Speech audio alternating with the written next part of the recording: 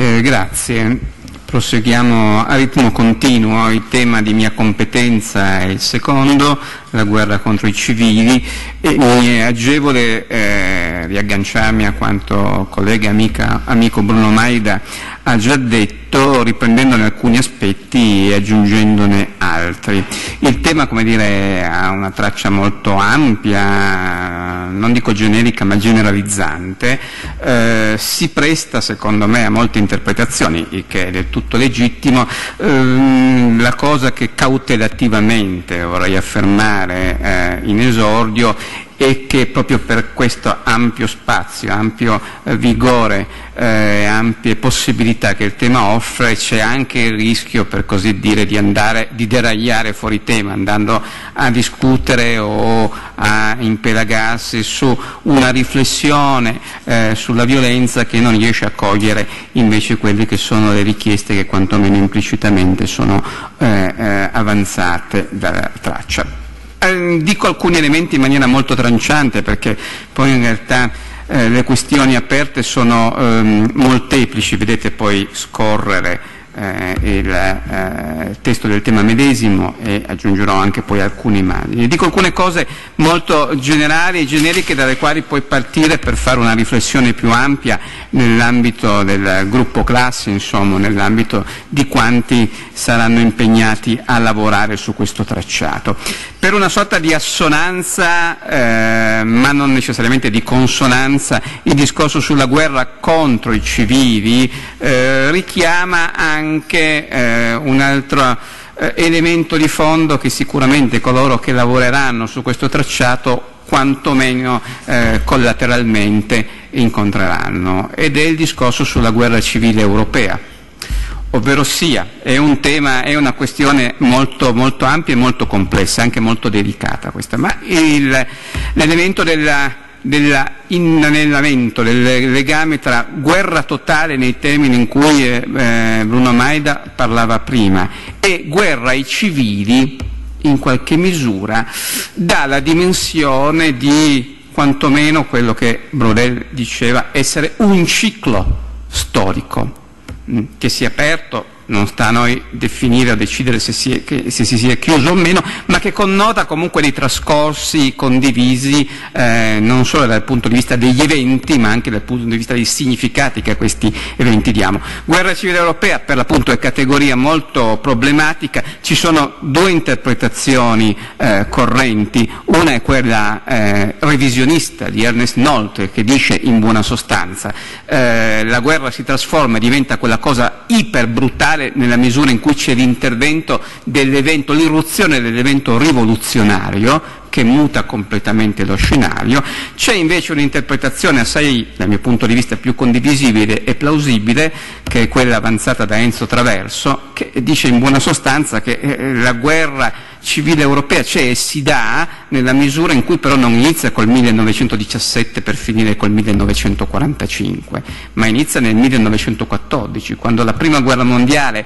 viene proclamata e viene vissuta da subito come una guerra tradizionale che verrà gestita secondo criteri di, diciamo così, di prevedibilità bellica e politica e si trasforma nel volgere di poco tempo, per un insieme di fattori, in qualcosa di eh, molto diverso. Quando si esce dalla fine della Prima Guerra Mondiale abbiamo una configurazione geopolitica non soltanto completamente diversa da quella di cinque anni prima, ma abbiamo un patrimonio, per così dire, di esperienze terribili che entreranno poi in gioco non solo nella seconda guerra mondiale a potenza ennesima, ma entreranno in gioco anche nel periodo che intervalla le due guerre, gli anni 20 e gli anni 30. Basti solo citare tra le tante cose che possiamo eh, rilevare il fatto che, per dire, nella prima guerra mondiale si ehm, costituisce eh, quella che i tedeschi chiamano una Kampfgemeinschaft, una comunità di lotta delle trincee, che è ad esempio un punto fondamentale nell'identità politica di molti attori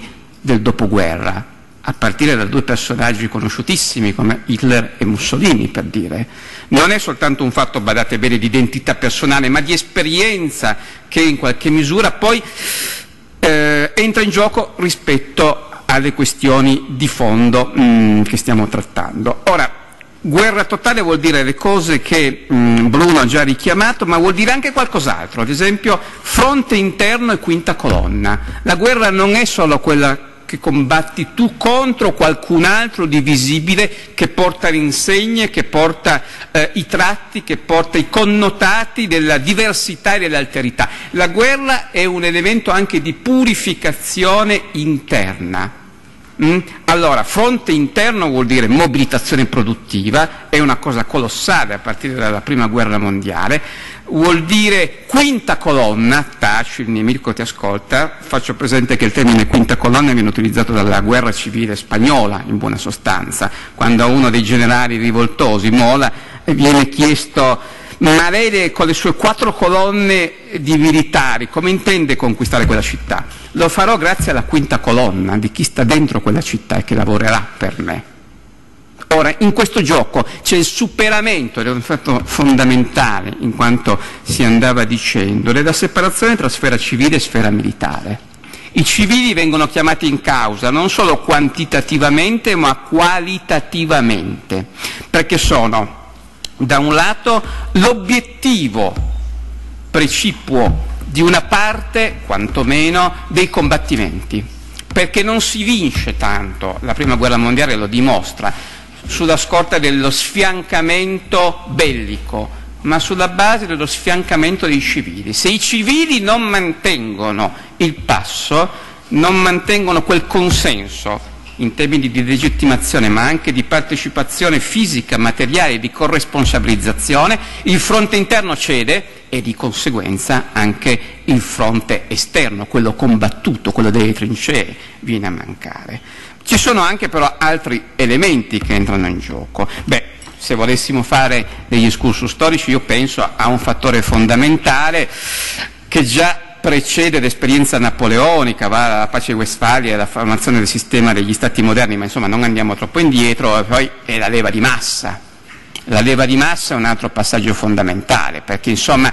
eh, il mestiere delle armi non è più qualcosa che è consegnato a un ceto, a una categoria, a un gruppo sé stante, ma diventa un fattore di quel processo che verrà poi definito efficacemente da un grande storico come eh, Mosse di nazionalizzazione delle masse, cioè inserire le masse in una funzione sia pur, aggiungeremo noi, passiva all'interno dei processi di stabilizzazione degli stati nazionali, in buona sostanza.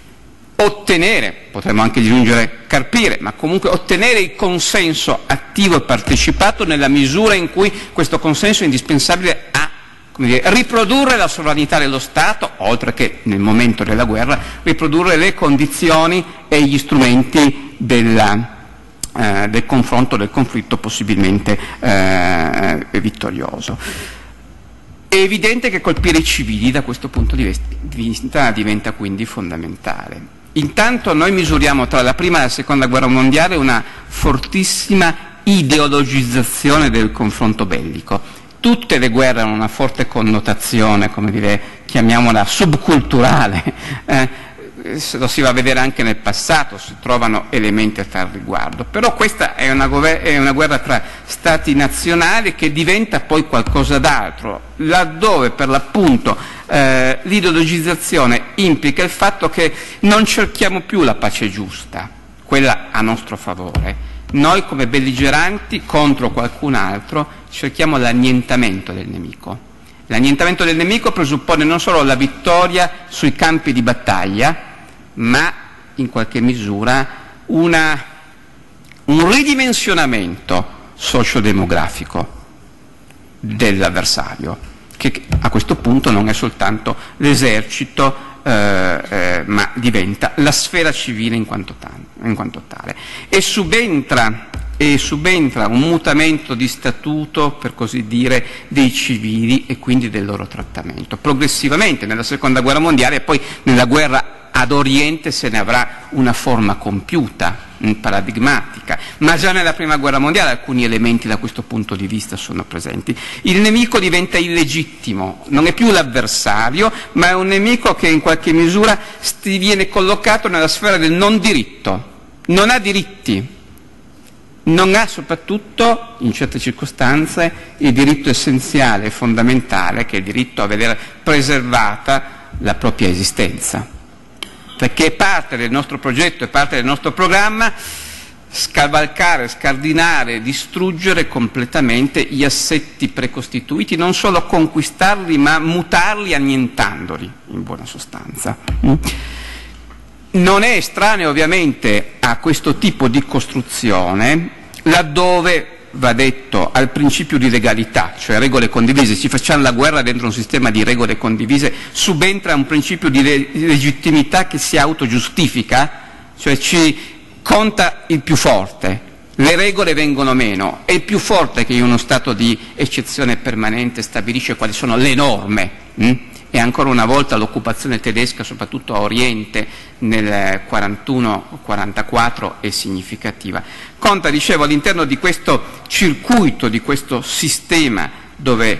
eh, si passa allo stato di eccezione permanente, il fatto che il nemico sia razzializzato, sia letto in termini etnici, sia letto in termini ehm, legittimanti prassi distruttive. E questo è un passaggio fondamentale, noi potremmo intitolare questi tre, questi tre percorsi tematici da Sarajevo a Sarajevo, dal 1914 agli anni 90, perché ci sono linee di continuità da questo punto di vista. Ora, la guerra contro i civili, la guerra contro i civili da questo punto di vista, perché eh, ci rileva nella sua eh, importanza. Cosa dobbiamo mettere eh, in eh, rilievo? Mm. Intanto è una guerra che non si basa solo sulla distanza ma anche sulla vicinanza. Quando prima ho fatto una citazione in esordio sulla guerra eh, civile europea mi riferisco per l'appunto a questo dato. Le guerre civili in senso lato sono le guerre che non si fanno tra individui lontani ma tra individui che sono vicini, in dato di prossimità. Questo elemento della eh, visibilità in qualche misura diventa un elemento importante, ci sei, ti elimino perché ti identifico come tale. Entra il discorso rilevante da questo punto di vista della violenza rigeneratrice, doppiamente rigeneratrice. Cosa vuol dire? Non c'è solo la violenza necessaria, quella che si svolge sui campi di battaglia, ma c'è la violenza che purifica, che purifica, come veniva detto prima, poiché tutti sono attori in questo gioco, le vittime che in qualche misura si tolgono, diciamo così, dall'orizzonte di riferimento, ma purifica anche gli esecutori, i carnefici, che in questo modo rivelano a se stessi di essere un passo in avanti rispetto alle vecchie formule umanitarie, per cui la guerra doveva essere fatta dentro criteri di legalità e non di stretti rapporti di forza. La violenza rigeneratrice è, insieme all'elemento della razzializzazione del nemico, un elemento fondamentale, eh, perché se la concezione razziale dell'avversario, o comunque etnicista, dice al combattente che dinanzi a sé non ha un uomo o una donna come lui, ma un barbaro, e quindi è legittimato a fare la crociata, eh, la violenza rigeneratrice dice per l'appunto che la guerra ha una funzione superiore a quella della conquista fisica materiale, ha una funzione di trasformazione profonda, di equilibri, di assetti anche morali e spirituali. E la violenza in questo ambito si giustifica allora da sé come altro codice morale alternativo a quello preesistente che è fallito e che, di cui bisogna prendere dire, nota della sua eh, sostanziale eh, inconsistenza. La popolazione da questo punto di vista è di per sé un elemento tendenzialmente ribelle c'è una violenza, chiamiamola così, contro i civili che ha una natura pedagogica. Vi insegniamo che noi qui comandiamo. Guardate che non è una cosa così scontata nelle guerre che si ricorra sempre e comunque a questo tipo di funzionalità. Ad esempio l'occupazione tedesca dell'Italia, è stata citata prima Gabriella Gribaudi, no? a partire dalle stragi che vengono fatte nel sud Italia dai tedeschi, eh, subito dopo l'8 settembre, eh, questo connotato, chiamiamolo così, rieducativo tra gli altri, non è l'unico elemento, ma dinanzi a una politica di occupazione che deve preservare il potenziale bellico italiano utilizzandolo eh, a favore eh, dello sforzo eh, militare tedesco, che deve controllare in maniera rigida le popolazioni nella misura in cui ciò è funzionale alla operatività delle truppe eh, germaniche, questo dato entra in gioco. E purtuttavia non è l'unico, perché la violenza contro i civili non è soltanto interpretabile come un elemento utilitaristico, come un elemento che possa essere letto eh, in termini diciamo così, di eh, reattività, anzi molto spesso la violenza contro i civili non è una violenza reattiva che risponde a qualcosa, è una violenza anticipatrice, è qualcosa che viene prima e questo è un passaggio fondamentale e questo venire prima sta nel fatto che come dire, ha in sé una natura trasgressiva, come avrebbe detto eh, Roger Caillois mm, negli anni 30 e negli anni 40. Ad esempio, se voi andate a vedere proprio la dinamica dello svolgimento di certi crimini contro i civili, una qualche analogia con una festa vendicativa ad esempio nei confronti delle popolazioni italiane che sono fatte oggetto di certi Sant'Anna e così via. Questo dato è presente, è molto forte. Eh, non, non, non, pensiate solo che sia come dire un sabba eh, che si consuma nell'esasperazione, ma è non meno vero che eh, la violenza contro i civili ha questo dato di effervescenza collettiva per parte dei carnefici che possono liberare quello che dal loro punto di vista è l'aspetto diciamo, più combattente, più aggressivo e più determinato nei confronti di qualcuno o di qualcosa che è visto come un oggetto nemico per il fatto stesso eh, di esistere. Nella violenza contro i civili l'odio perde il suo carattere astratto, da risentimento ideologico formulato da una qualche cancelleria e da degli accademici e da qualche comandante di reparto, diventa invece eh, una sorta di pulsione concreta che giustifica il passaggio all'atto. Per riequilibrare le tensioni all'interno di certi reparti, in certe condizioni, il potersi esercitare contro dei civili indifesi è un ottimo elemento di stabilizzazione in qualche misura. Siamo al di là della linea di divisione del bene e del male, ma appunto parliamo di un contesto dove si sono abbondantemente superate queste eh, linee eh, di divisione. Eh, il punto è che la violenza contro i civili lega due elementi nel Novecento. L'emergere e il soddisfacimento del pari di, pulsioni profonde mh, hm, e dall'altro lato però anche un ricorso a una violenza eh, tecnologica, sistematica, che è in assoluto accordo con la dimensione della modernità, coniugando modernità e barbarie in maniera molto, molto secca e molto netta. Vado alla conclusione perché ci siamo prescritti dei tempi molto stretti e in realtà si aprono molte finestre di eh, riflessione che magari in altra sede potremo riprendere con i gruppi classe o, o laddove sarà appropriato e opportuno, ehm, eh, facendo anche un'altra citazione, mh, hm, quella eh, di Sergio Luzzatto, la tragedia corporale, la violenza contro i civili e aggiungo anche categoria da utilizzare sempre con cautela ma con, eh, non con troppa inibizione, la guerra civile come un surplus di tragedie corporali, di visibilità dei corpi. Guardate bene che nelle violenze contro i civili eh, nel Novecento eh, eh l'assassinio, l'assassinio, di massa, eh, del tutto non solo ingiustificato ma belluino e quant'altro, è esibito come una vittoria personale, come un atto di cui in qualche misura menare anche un qualche vanto. Non è omesso, non è nascosto se fosse omesso e fosse nascosto da questo punto di vista, non assolverebbe a quella funzione eh, che raccontavo prima, quella funzione di festa della vendetta collettiva, per così dire. E allora l'esposizione dei corpi diventa un altro elemento fondamentale, come anche la certificazione che si ha avuto il coraggio di fare alcune cose contro i civili indifesi. Pensate è solo una minima parte, il repertorio del regesto di immagini che l'occupazione tedesca dell'Europa orientale tra il 41 e il 44 ci consegna. Pensate ad esempio la, la tripartizione che si eh, riflette in un'immagine come questa tra le tante possibili eh, e che Rau Hilberg, storico di Valle, aveva messo in rilievo tra tre figure fondamentali in queste dinamiche di guerra civile europee, cioè eh, carnefici, vittime ma anche spettatori.